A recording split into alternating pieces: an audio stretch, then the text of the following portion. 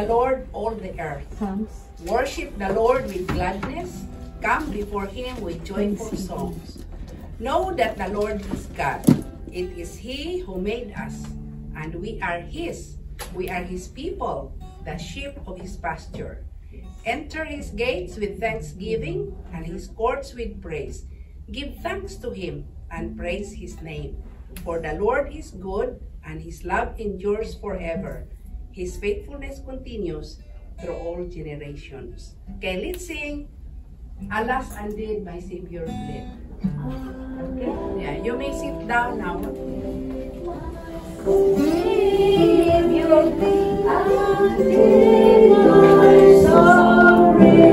At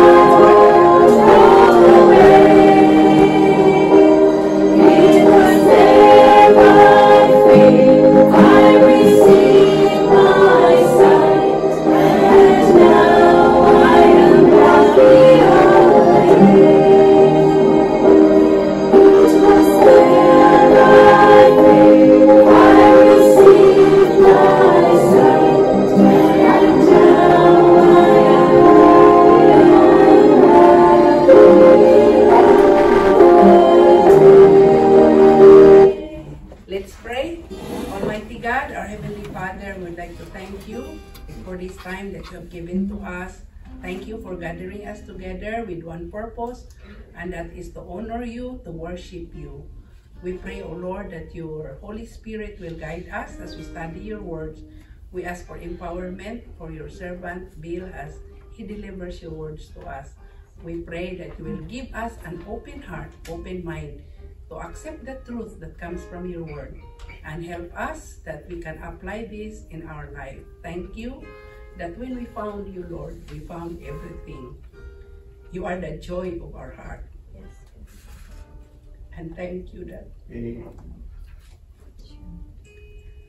when we give our life to you, we will be happy. In despite that, we know that we'll be encountering troubles in life, but we have the assurance of Father God that you are the God that will help us, and you are the God that will lift us up, and you are the God that will honor our faith in you.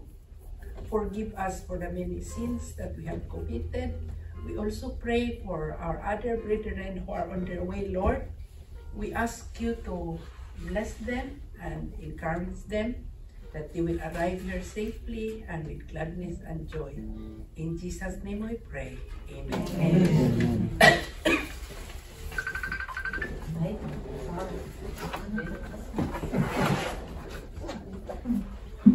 Tiny bit. All right.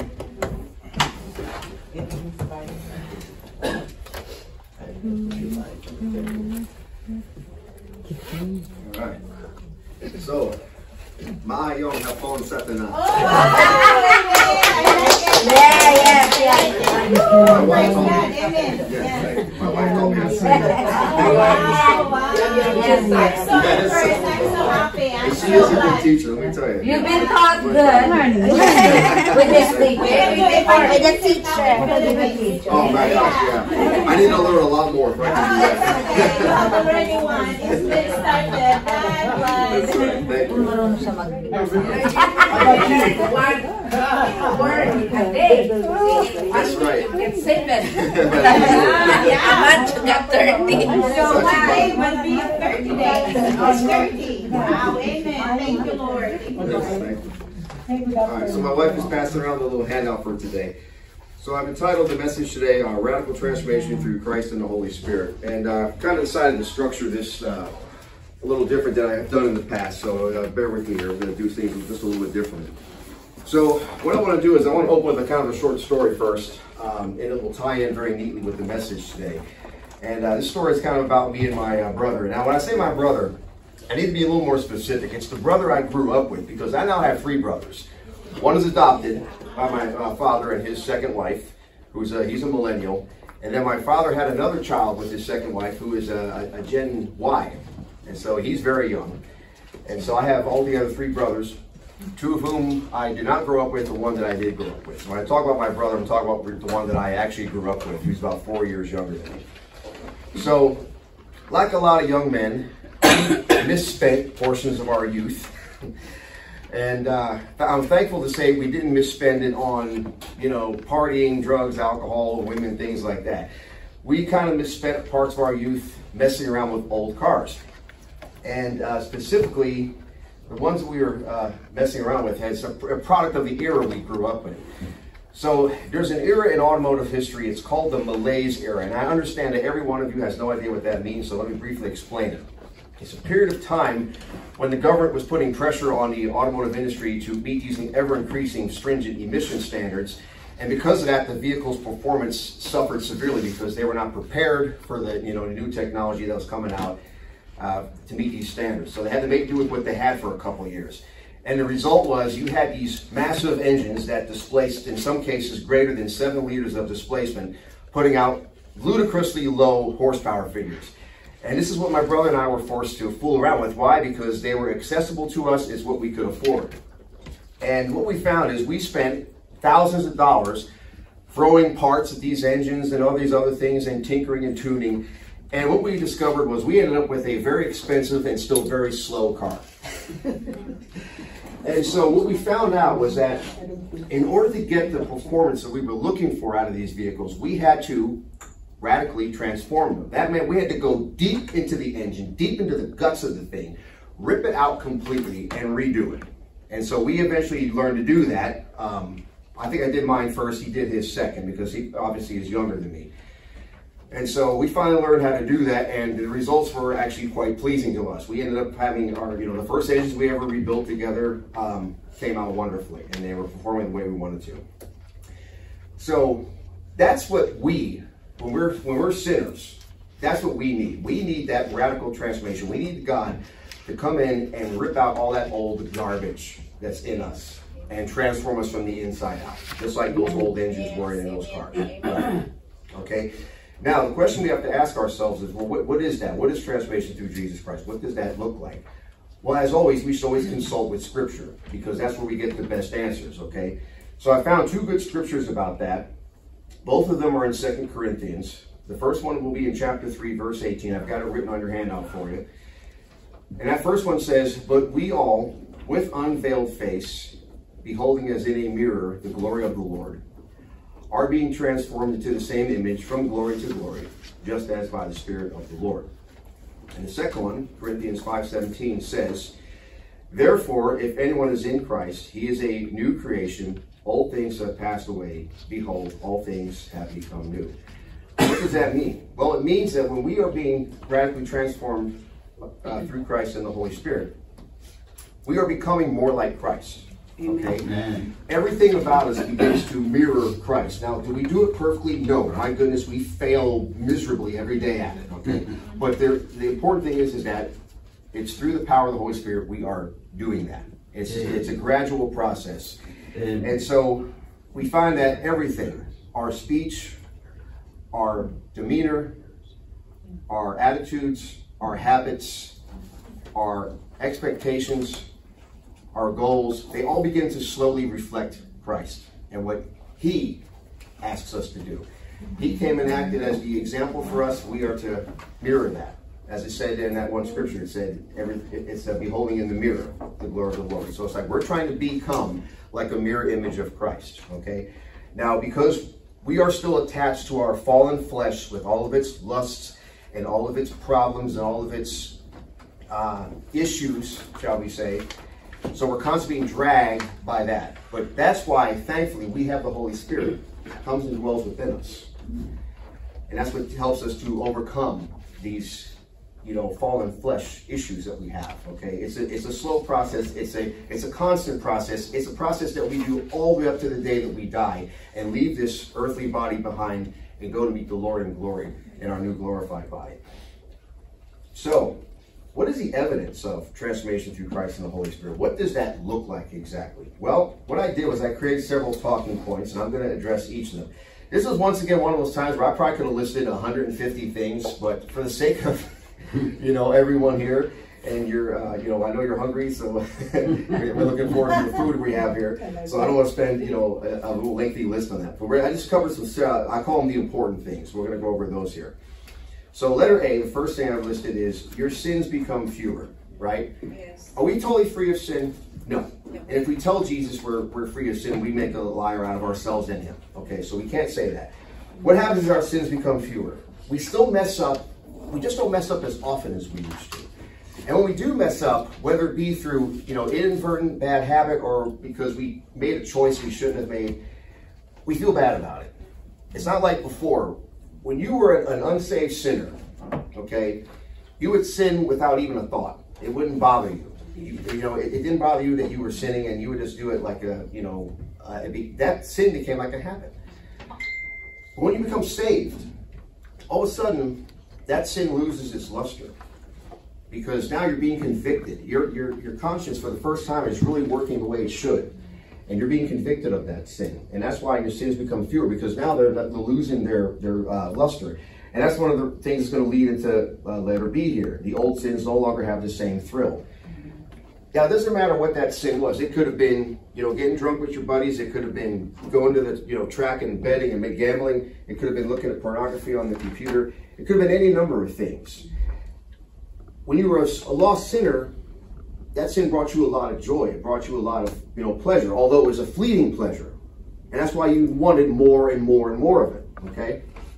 But now you've saved, you become saved. The Holy Spirit's come into you, you've been led to the scriptures, you've read them, you understand the, a little more the God that created you, and now you're beginning to slowly wake up and have your eyes open to things. And what will happen is you may stray back to those old sins. Well, you know what you find? Yeah, it's not fun anymore. It doesn't have the same enjoyment anymore. It's it, and plus it bothers you now that you do it. You may do it and get a little bit of pleasure out of it, but then you realize afterwards you feel terrible. And that, that way you feel afterwards does not, it, it's not worth the pleasure you had before. And so what happens is slowly those begin to finally fade into the background. It's uh, one of the ways, that, I'll put it the way that John MacArthur put it in one of his sermons. You're not a party animal anymore. And I thought that was humorous hearing John MacArthur use the term party animal. But that's what it's like. It's like you no longer have that desire to commit those sins anymore. Because now you have none other than the Holy Spirit has come to dwell within you. And your conscience is now working and clicking the way it's supposed to. Okay? And this is an extremely valuable evidence that now you're being transformed in Christ. Letter C, temptations are increasingly easier to resist. This also ties into the first two items, okay? Remember, we still have this fallen flesh attached to us. It's like, remember when Lazarus came out of the grave? He's alive, but he still had those stinking grave clothes attached to him. That's kind of like a good picture for our condition. We're saved. We've been washed in Christ's blood. We're all nice and shiny new on the inside, but on the outside, we're still dragging around our old fallen flesh. And that's going to haunt us and bother us for the rest of our living days. The question is to how we how we subdue that. Through the power of the Holy Spirit and Jesus Christ, we can learn to subdue that flesh. And that's why these temptations that once used to snare us like instantly, now we give it a couple thoughts. We say, well, I don't want to do that. And then we turn away from that temptation. And the more often we do that, the more the devil is going to flee from us. Because why? He can't snare you anymore in that sin like he used to. He used to be the all he had to do was lay the trap out. You'd fall right into it like a total fool, right? Mm-hmm. Well, now that you're saved, that's not happening anymore. You see that trap. You can see it being said in your mind. Like the, the, the enemy is constantly whispering wicked thoughts into our, our ears. And we have to be on guard those. We have to crush them thoughts before they become an action. Because that's how it goes. It becomes, a, it's a thought, and then you ponder the thought, and then comes the motion, the evil motion as it's called. Yeah. Right? That's the step of how we fall into sin. But if we can nip it in the bud right when the temptation arrives, through the power of Christ and the Holy Spirit, that's the good thing. That's what we want to do. We want to reach that point where we can do that.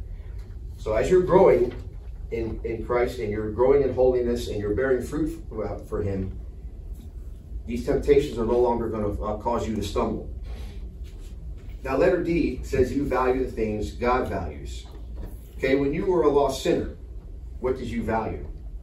Things, power, recognition. These are all the things that you wanted when you were a lost sinner. But now that you're saved, you have a different mentality, you have a different view of things. You value things like charity. You see a fellow man in need and you want to help him. You don't just turn a blind eye like, oh, I can't do that. No, no, no. No, now you want to reach out to the person that needs help. You also look at things differently, like, for example, when you're in church, um, the words coming out of the, the pastor's mouth are now more uh, meaningful to you. And you can see how they apply to your life.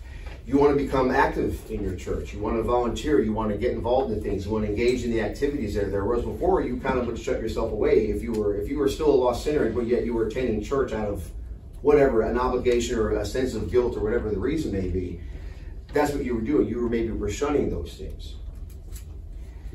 But it, and so now, now that you have been saved, you're now engaging yourself with these things. We have a new uh, person that's joined us today. That's wonderful. Thank you. Thanks for coming. Now let's take a look at letter E because this is a big one. You demonstrate righteous anger when Christ is dishonored. I think I spoke this briefly in one of our uh, past meetings. Okay, 99% of our anger is unrighteous. Why? Because it's born of pride. It's born of things like, that person offended me, now I'm going to get even. Or it's born of something like, uh, you feel like you were slighted.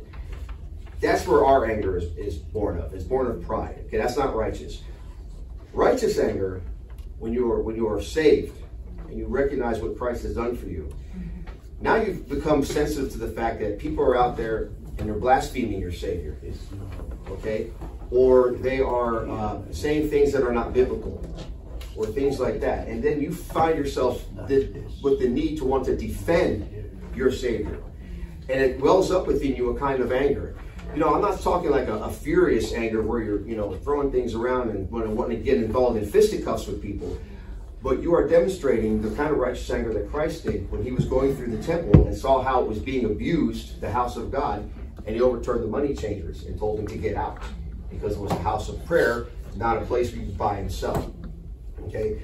That's the kind of righteous anger that Christ wants us to have whenever he or God or the Holy Spirit has been dishonored in some way. And one way that Christ is being dishonored right now out, in California is, I don't know if you heard about this or not, but John MacArthur spoke about it. So Governor Gavin Newsom has basically, he wants to make California like the abortion capital of the United States. He has basically announced to the whole world, I'm flinging open the doors for everybody, the whole country, to come to California and have all the abortions you want. And he's put up billboards advertising this, like it's some kind of a service, right? And in this billboard, he is actually quoting the Bible. And I'm thinking to myself, wow, now that's got to be the ultimate dishonor of Christ. How you can take the words of Christ and use them to justify murder. Of an infant. I mean, that is just, that's the ultimate blasphemy as far as I'm concerned. I don't know about how you all feel about that, but I know John MacArthur was so disturbed by it. He actually penned a letter to Gavin Newsom telling him how distressing he thought this was and how he recognized the fact that, you know, let's be honest here, Gavin Newsom's soul is in peril. Okay, I mean, when you're a leader of, a, of, a, of an entire state and you, um, what's the word I'm looking for? When you are, are, advocating such a thing like this, such a grievous sin, mm-hmm. well, that's putting a target on your back mm-hmm. from the Almighty above. He sees that and he's very displeased. And he's going to, you know, the, the clock is ticking for Gavin Newsom. You know, the, the hour to repent is right now. And I pray that he takes it. And I know uh, John MacArthur prays he takes it too. That's why he sent him the letter in the first place. So when we see things like that in our world that are dishonoring Christ, that makes us well up with a righteous anger. And it makes us want to defend mm-hmm. Christ. Now, obviously, you know, Christ is Almighty God. Mm-hmm. He can defend himself. We know that. But it pleases him to know that we love him so much that we're willing to stand up for him down here it, it, that means a lot to him. Mm-hmm. It's, it, it does. So we all need to always remember that. That we should always demonstrate and defend Christ when he is dishonored. Letter F says, you discover yourself giving thanks and praise to God often, even for the little simple things in life.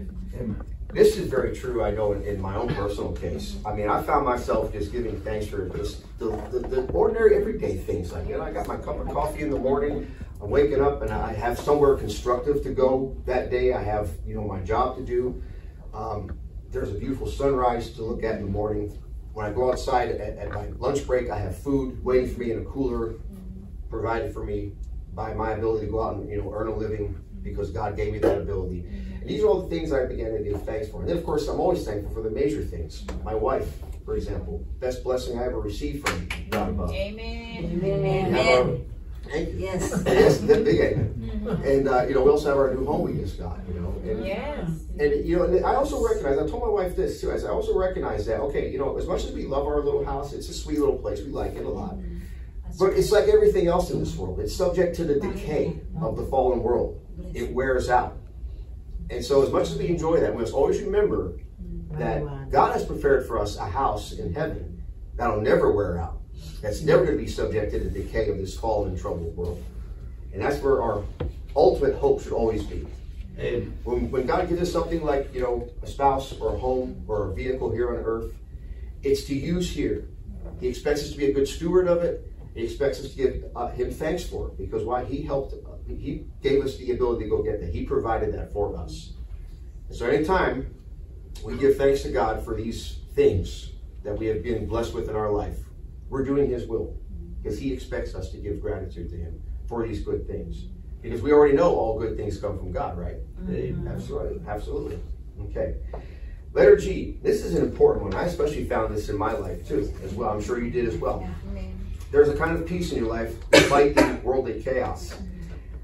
I'll be honest, now this gets tried quite hard at my current employment. employment. Okay? That's not an easy place to find peace, believe me. But what you do find is that as you grow in your relationship with Christ, as you're growing spiritually, as you are bearing more fruit, the chaos affects you less and less and less. Yes. And one of the other ways you have peace in your life despite the chaos is you're able to shut out a lot of the chaos because why you get convicted of a lot of things. You know, like for example, I I haven't watched TV in going on five years now. Hate it, can't stand it.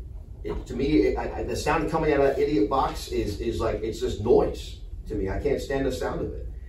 So I'm grateful that I've now have the, the, the, strength and the conviction to completely shut television out of my life. I don't need it anymore. I don't want it anymore. You know, the internet allows you to be vastly more selective. So you can choose what you're going to look at and choose what you're going to see. Now, let's be honest, you can also mess up really bad and view things that are a lot worse. But hopefully you're convicted enough in Christ that you won't do that. Okay? But that's what I have found. And I remember like in the process of when I was becoming saved, it, it, didn't happen all at once. It happened like in stages. You know, I was in the most lowest troubled time of my life and I found myself reaching for the scriptures. Now, I didn't do that on my own volition. That was God leading me to do that. Because remember, yeah. we're taught in the Bible that we cannot act on for God on our own. God tells us that we can't do that. We're incapable of doing. We're incapable of seeking God out on our own. Because why? Because we're fallen. We're fleshly. We want to go after the, the lusts of the world. We want to go after the pleasures of the world. That's our natural inclination. So when we find ourselves all of a sudden realizing my life's a mess. I, am scared of what's going to happen to me. I need help. I'm desperate. You find yourself reaching for that Bible at that moment in your life, that's when you realize that's the Lord leading you to do that. That's the Lord recognizing. That's the Lord um, acting in your life and you recognizing that you need help. And the Lord is now using that as the vessel and the vehicle to lead you to Him. He's doing the work. He's reaching out to you. But it's up to you now to open your eyes and be drawn in. And we know that uh, when God chooses us to be saved, we can never be snatched out of his hand. Because he's drawn to sin and drawn to sin and drawn to sin. And we will never be snatched out of his hand, just like it says in those scriptures. And I found that what happened with me was, as I'm reading the scriptures and they're finally making sense for the first time in my life, it was amazing. It's like opening up, and the Bible suddenly became a whole new book. When I was a lost sinner, the Bible was this dusty old book of stories that just laid on the table. Now all of a sudden I recognize this is the word of God. This is life is in these pages. You know? So I began reading that and it began to make sense and more and more sense. my my save moment didn't happen until I found myself in a jail cell, no clothes, everything on me is stripped away, and all I have is a wrap around me. And I remember realizing, boy, this is it. This is as low as a person can go. And I said, God, I said, I know kind of what led me to this point. I said, I need your help. I said, I give this life to you. I can't go on anymore. This is it. I'm broken. I'm completely broken. I can't do anything more. And my wife told me, she said, that was the moment you became born again. Was that moment. Because think about it. I was literally reduced to almost to the point like when I was an infant. I mean, I'm curled up. It's cold and I'm curled up literally in the fetal position, trying to keep warm. And I gave my life to the Lord. I said, Lord, I, I need you. I can't do this anymore. I can't rely on just myself. And you know, from that moment forward, my life began an upward trajectory. Here I am five years later.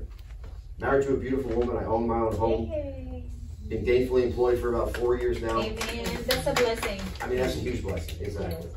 And it's also a powerful testimony. And I like to share that story with, with some people. I like to share some stories with that sort of people who don't know Christ yet. Mm-hmm. So that they can understand that it don't matter how bad you've been, how low you've been thrown down yes, to the, yes. pavement. God will raise you up. Amen. Amen. You know, He will.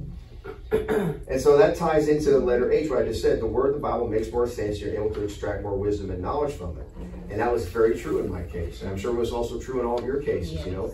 Amen. We, you know, all of us we're all called by God at different points in life. Mm-hmm. Remember the, the parable that Jesus taught about the uh, the workers? Mm-hmm. How some workers were called early in the day, and other workers were called almost at the end of the day. When there was only like an hour of daylight left to work.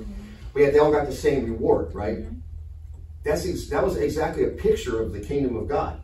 Some of us come to Christ very early in life. We walk with Him a very long time. Others of us come to Christ, like in my case, the halfway point through your life. And then others will come to Christ, like the gentleman we learned about in church. Uh, I think it was last week. He's 83 years old, and he came to Christ. Mm-hmm. Mm-hmm. And, I, and, I, and I thought of that parable in my head. I thought to myself, wow, that, that parable that Jesus taught all that time ago is so true. Mm-hmm. There are many of us who, who are in the kingdom, and we all came into his arms at Yes. different points in our life. But the reward is the same. We get to spend eternity with Christ, the Son of God, and the Heavenly Father and the Holy Spirit who created us and made this whole world. Amen. I think that's beautiful. Yes. So let's take a look at uh, the last scripture that's on here. It's Ephesians chapter 4, 22 to 24. And this is kind of like an overall picture of what is expected of us. That you put off concerning your former conduct, the old man, that's your old flesh, your old self, which grows corrupt according to the deceitful lusts, and be renewed in the spirit of your mind. That you put on the new man, which was created according to God, in true righteousness and holiness. The journey to holiness is never ending in this life. Amen. We don't achieve the true holiness until we go to meet the Lord mm-hmm. above in the heavens and we get our glorified body. So what we ask is we uh, we should always be praying to, to Jesus and to the Lord to always help us grow in holiness and keep bearing fruit for Him. And we know that uh, if we're faithful, we know that nothing is impossible for Christ. Absolutely. And remember always that uh, even though we may stumble, and the enemy is always going to be there whispering in our ear and trying to tempt us and trying to get us to stumble and also trying to say, look at what you just did. You know, how's God going to forgive you when you're saved? Ha. You know, he does that. He does that to us. He does it to me all the time. Whispers my ear. Every time I get ticked off at work. Mm-hmm. And believe me, I admit it. I get ticked off at work a lot. Mm-hmm. And then I feel bad because I know that that's not Christ-like behavior that I'm demonstrating. And then I have the enemy whisper my ear, look what you did, Bill. Look how mad you got. That's all your pride, isn't it? Yeah. Wallow in it. No. Mm-hmm. And then I push that away. And I ask God, I say, God, I know I just messed up. Please help me to be better than what I am. I ask Jesus every day, help me to be just a, even a little bit better than I was the day before. Mm-hmm. Amen. And I'm finding that since I've been praying that and I've been being more active in scriptures and in, and in church and everything else, I see that happening. Things that used to make me just irate at work don't even register a blip on the radar screen anymore. Yes. Now, you know what that means also? It means that every time you would find a new threshold, the enemy's going to try to invent another threshold that you're going to trip over. You always need to be on guard for that. Always be on guard for that. So let's go ahead and uh, we'll close this message in prayer.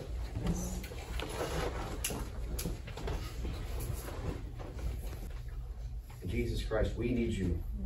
We need you whether the times are good or whether the times are tough. We need your grace. We need your peace. We need your mercy. Yes, Lord. Without you, we are nothing. Okay.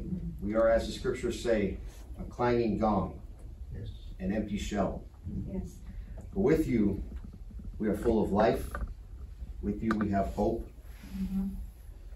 With you, there is the hope of eternity with you. Amen. And that's just about the best reason in the world, Lord, is to be with you in your presence for all eternity. To have that access to you and your presence and your wisdom and all the things that you want to teach us.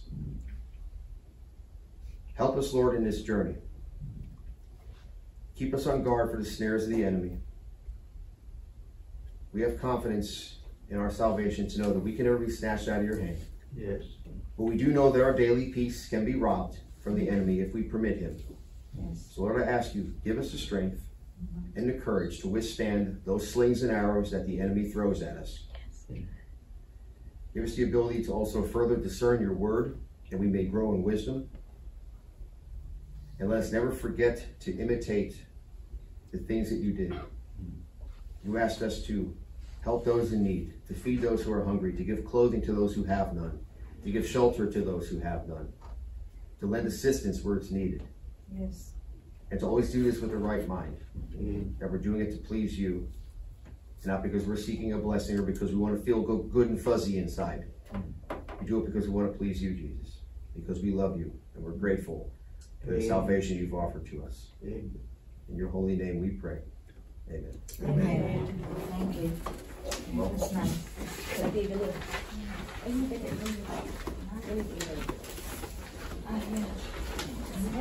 nice. I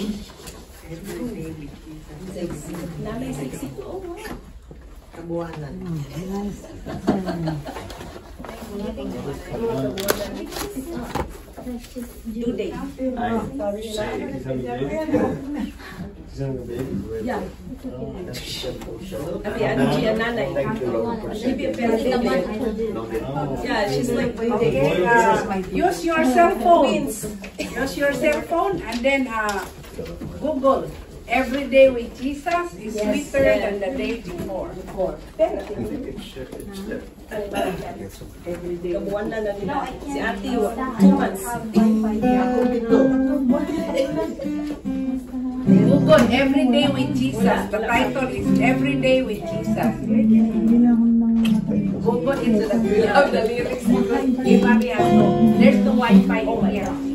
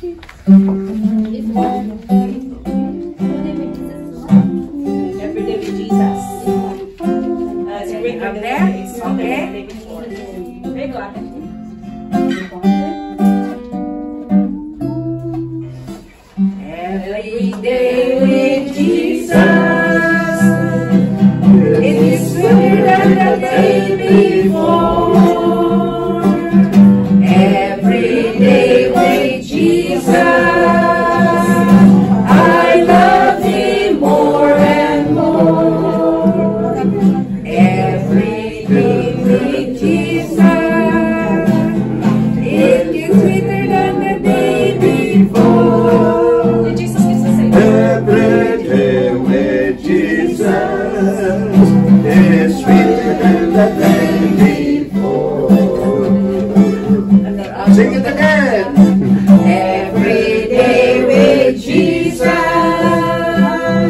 is than the day before.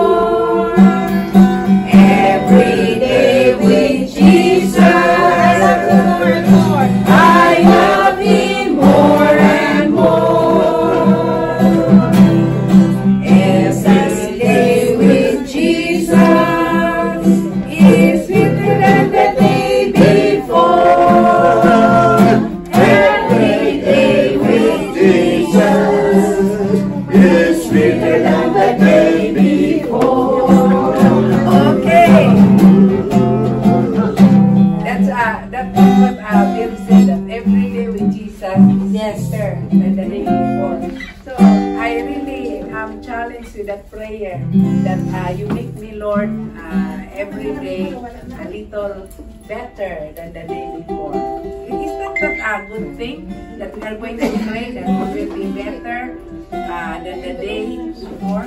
Yeah. So we are we are progressing in our Christian life. Okay. So Pastor Tim. All right. We thank God for this afternoon, evening, Evening. It's evening now, yes. that really to be a new person is as simple as ABC. Like, take off your old clothes and don't keep moving naked. You should wear, you should put on the new clothes.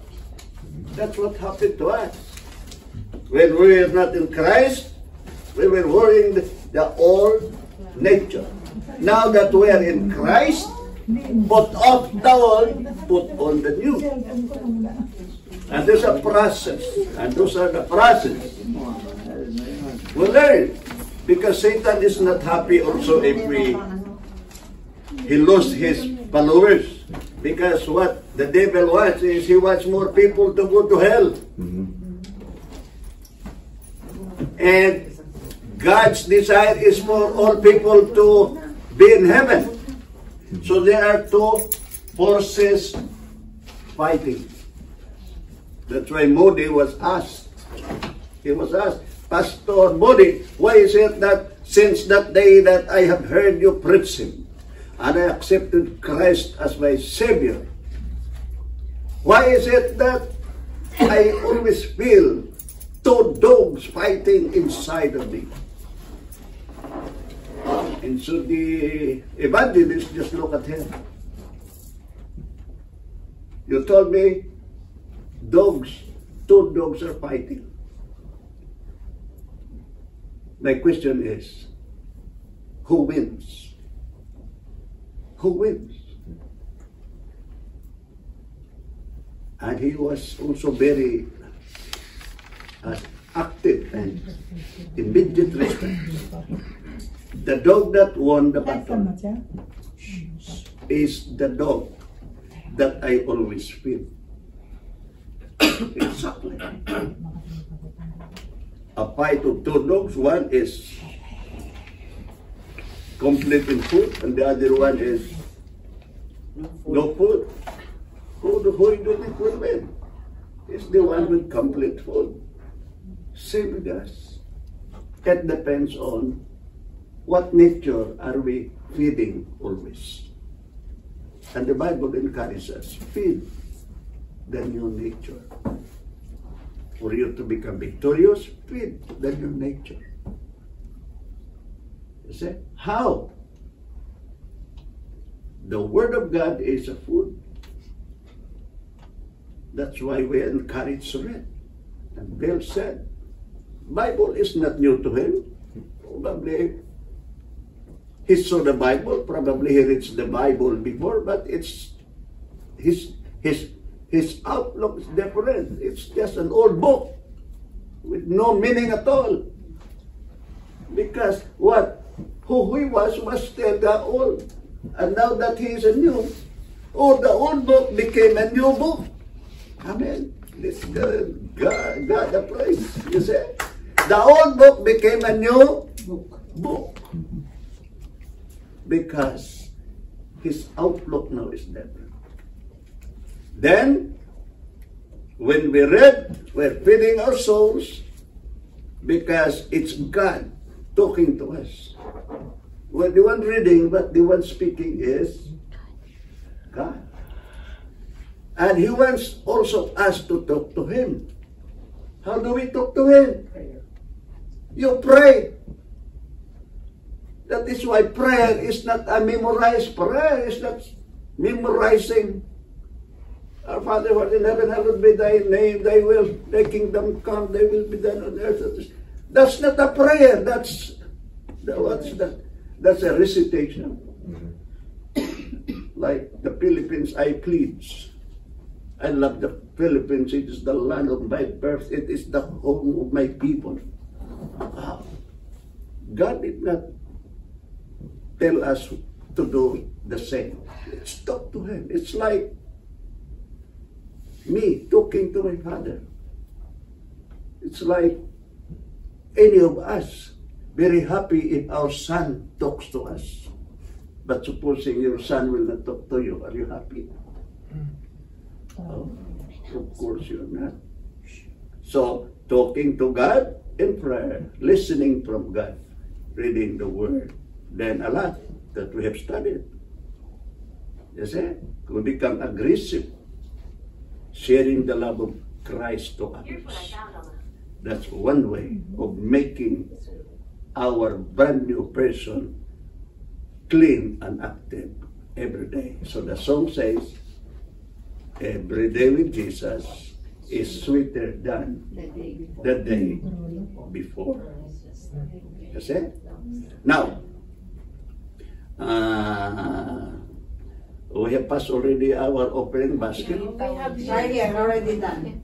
It's already done. Right there. There's uh, words that we need to say for uh, for uh, What's that? um, giving offering. So before that, I will share a little Yeah. bit about uh, offering and Yes. giving. Oh, we don't have it. Yeah, we have one. Supposed to you be got another one. supposed to be me. Next time, next time we need to hold our envelope before we read this one. But be- before we read this one, I will share. Do you need um, one after Angie? No, I already did. I will share about uh, how God's work in our life. Thank you. Um, I know every one of us, like, we work so hard and we have a lot of things to pay. And when I was in South Korea, I was working for five years and my mom had a lot of debt. And we all lot uh, to the, the market and then sometimes the owner of that store, they kick my mom because, you know, we have a long list of debts. And what I did when I was in South Korea, I was helping like that kind of this ministry. I was not really more in Christian that time because as I heard Pastor uh, Bell, I call Pastor Bell because he's preaching, that if we are a believer or follower with Jesus, we are a new Christians and we if we read the Bible then we need to follow what he said. So what I did, I support a ministry down to somewhere in Cebu and more most my money goes to the ministry and I have less money. Sometimes I don't have money to pay the, you know, the train or the subway. It's called subway and um, in South Korea or here we don't have subway or bus because, you know, we have own cars. But of course, most of us, they work hard because we have to pay more and more and more like insurance and everything. But my, I, what I share today is if you if we build our uh, money to the kingdom of God, and you don't know the future that all our our uh, debt will paid off after five years.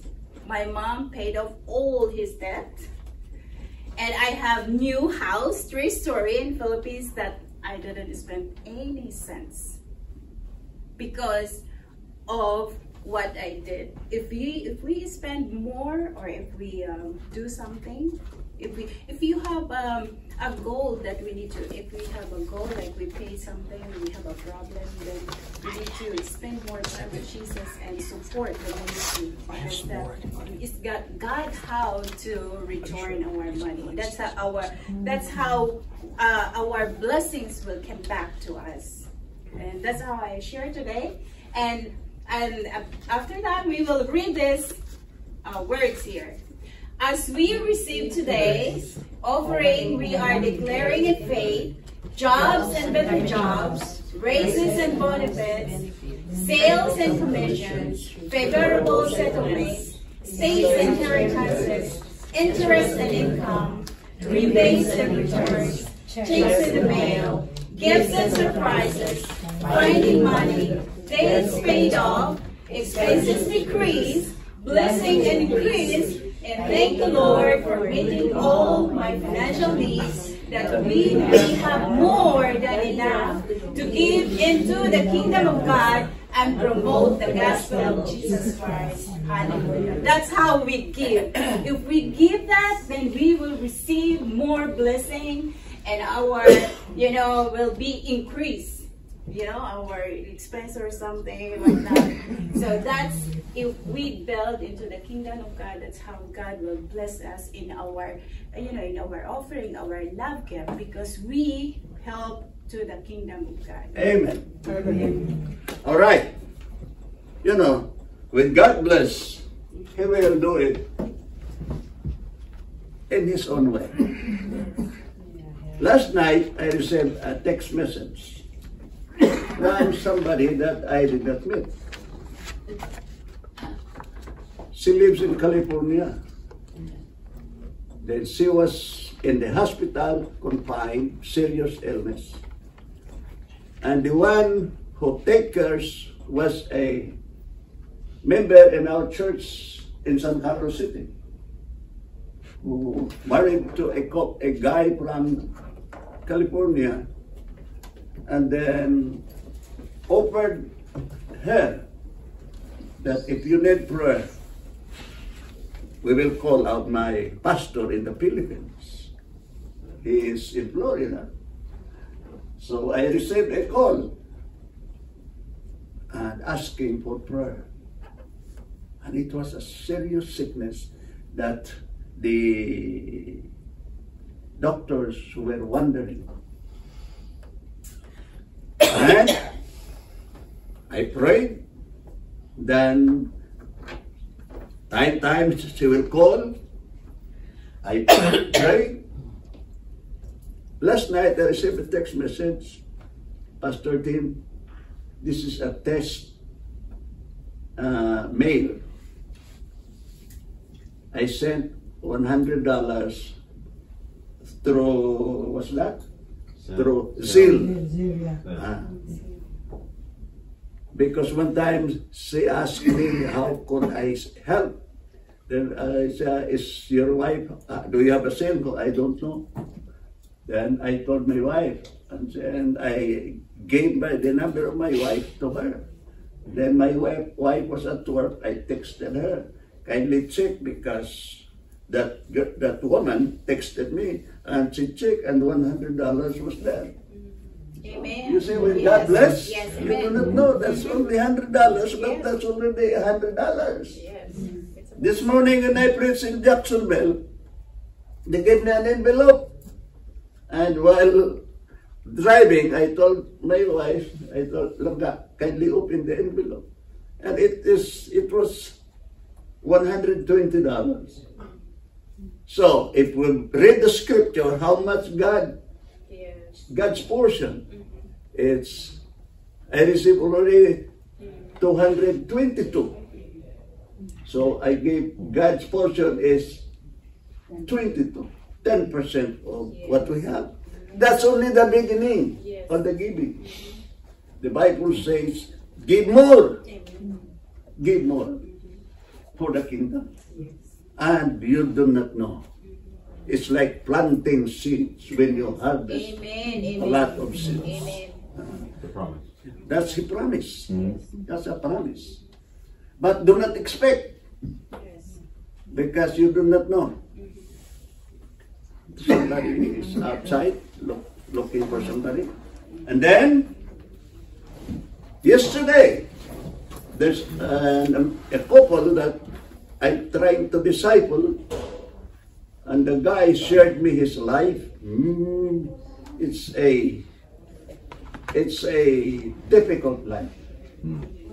When he was seven years old, he had an accident that almost killed him. Here, operated. Here, here. This one is cut. The broke. The bone was broken, so the doctor has to remove, extract bone from his hips, and then replace the bone here. So I saw it's very small bone here. That's not the original bone and he's experienced difficulty in lives. And while he was sharing, tears flowing. And God moved me. Oh, yeah. Do something. Do something. I had thirty dollars in my wallet. I shared to him, brother, this is from God. God give me the joy. God give me the happiness. And he helped me. Today my experience, I was preaching about Thanksgiving because it's the Thanksgiving Sunday. Then the church bought a new laptop for the pastor. And it was only $170. So I asked, where did you buy that? Best Buy. I remember this Best Buy here. And you know, last Black Friday, I wanted to go there because I want to buy a computer, to buy laptop. I said, oh, thank you, thank you. This Best Buy in Daytona. I'll buy. While driving, the pastor called my wife because I was driving. Sister Nida, Sister Nida, I have something to tell you. That two members will buy laptop for Pastor Tim. I said, oh, I was able to hold my tears. I said, Lord, thank you very much. Hallelujah. That's the joy of serving. That's it. Amen. Now, I would like to remind that the tithes and offerings we gather. I do not get anything. because by law, I'm not allowed by law. In fact, our congregation is not registered yet with the government because I have no license yet. Then I consulted a lot of pastors and I shared it to you first Sunday of October that any amount we receive, we will use it for the group, uh, any activity, group activity, and set aside, identify pastors that are hardworking in the Philippines. That I used to help 1,500 pesos every month that I'm trying to raise $30 each. And by God's grace, God is faithful. I can I raise a little, but there are still more. So I shared to you, and we agreed that we identified 10 pastors and we decided to send them $30 a month. Uh, and then there are another two outreaches that our main church is starting opening in San Carlos area in the mountains that I support and we support $30 a month. So I keep sending. And then uh, Amparo is also helping a pastor in the Philippines. Evelyn is also helping a pastor in the Philippines. Uh, according to Evelyn, he will, he will, she will include it to the amount that we'll be sending to one pastor I delegated in the Philippines. That he's the one uh, responsible of sending because if we send here by uh, once and then uh, it's cheaper. Here every time you send how much we pay? Eight dollars. Sometimes Western Union is ten. So sometimes eight. They vary. But then when you send via Palawan now it increases. Before it was only 20. Then became 30. And now it's 50. But what is 50 pesos? That's only one dollar. Now if we send direct to them, oh, that's ten dollars. How about eighty? Eighty dollars and can support almost three. So I just said one. That's what I do, and he's the one responsible. Those who are far, he will send it by Palawan, and then those who are close, yes, they has to text them, and they meet together, fellowship together, and then distribute give the support. That's what we're doing. So starting December, uh, we will delegate probably our treasurer to do it. It's not me sending. It's the treasurer. And I understand si- you are leaving. Yeah, I'm going to Philippines by this December 12. They're gonna have I saw. Uh, you can carry the money so that we don't need to Yeah, pay the charge. Or, I think here's the G Palawan. So she will, she will still send because she is in Manila. Yeah, Yeah. if you have chicas in Philippines, Yeah, just free charge. What we'll do is you send before you leave. Yeah. You say you send before you leave. And I told already that one in church that it's not me anymore sending. It's our treasurer. And in case of her incapability, our secretary will send. That's it. So I will attach all whatever the charges so that we have a proof. Yes. Every time we send, Yes. yeah, how much, Yes. what day. So Amparo, the auditor, Yeah. will uh, sign approval of sending. That's, let's start that way, Yeah. the correct way. Yes. And help me pray that someday I could have a license. I'll be a licensed and an ordained minister here in America. That's my dream. Mm-hmm. No, I That's don't my know. Did you ever, anybody ever send anything to Ann Scott? Or not? Ann Scott, you know, instead of, instead of going Western Union, you just buy, went and buy a money order and just mail it to that person. No, That'd be cheaper. Automatic. You, in a minute, they can I give know you it's good that way, but, but, but they charge, what they charge to do it. eight dollars. Oh, that's not fair.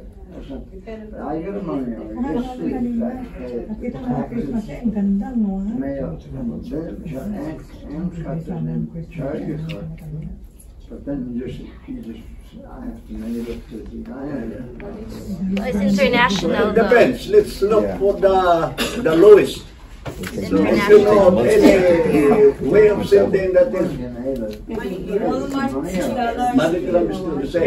But the the rate sometimes is lower. Uh, and then uh, first I compare. Now Ria, we found Ria, and it's who's who introduced Ria. Ria. Uh, Remitly Oh, is very low. Uh, Ria is the highest. And then Western Union is a little low. And then what's the other? MoneyGram is lower than Western Union. And then Remitly, I mean Ria, it's by or by Walmart. It's Walmart to Walmart. But they have also agents in the Philippines, like Palawan and Lhuillier, BDO. Or you can you can even deposit if you have BDO account. You can deposit to RIA. You just pay eight dollars. That's uh, what I found. But if you know of more uh, less There's a expensive, five dollars charge in even big amount in Wells Fargo, Pastor. If someone have Wells Fargo here, but I don't know. But, but there's no only like- branch. Because Any, there's a branch. Oh, uh, tell him, tell you can deposit in any uh, bank in Philippines. okay. If you have Wells Fargo here, then you go to the Wells Fargo bank and you can send this money. They only charge five dollars. Any bank in the Philippines. Try to, my wife has a Wells Fargo account. Uh, we'll try to explore. There's And- Wells Fargo in the Philippines. I think the Philippines bank, they know Wells That's why I They charge you, don't they? Just what's There's a Wells Fargo. So that's the situation. You got Xoom Okay, more questions? Xoom, have you heard of Xoom? the cheapest. Xoom? Yeah, Xoom. Yeah, Xoom Five also. dollars. Prayer for the food. Five dollars, Yeah. and they can pick it up from uh, any SM They charge Supermalls, three Cebuana, dollars. Oh, Palawan, yes. and Bumilya. How, You can pick it up from how much the church? Five dollars. Five dollars. What did It doesn't So- matter how much you send. Ha? Is the remitly is No, Xoom, Xoom dot Xoom. com. It ha? always depends on how Xoom much you dot send. Xoom dot. Xoom Expo. it doesn't matter how much you send to that one. Maybe you believe us It's a that flat one. rate. Click uh, Expo. I'll send you the. Yeah, Xoom. Okay, anyway, that's the responsibility of our, Remitly. as long as there is Palawan, this is in Lhuillier, Gamay ba? Abi- abi- doesn't matter. If you could find the lowest cost, people. let's look. All right, uh, shall we stand? Uh, more questions? I just want to say one more thing. She's got a Wells Fargo, oh no, that, that's an American bank account. That, that, uh, last year, they sent it, or that's what he sent it, you can send it right from your bank to his bank. Okay. If, if he has a bank So account, whichever If is he's trying. lower, Yeah, but he let's, has, uh, let's explore. yeah, it's Okay? Because what I know is the lowest is eight dollars. So if you know of more lower, praise God. There's a song, Thank you Lord for saving my soul. After that, let's pray for the poor. Thank you Lord for saving my soul. Thank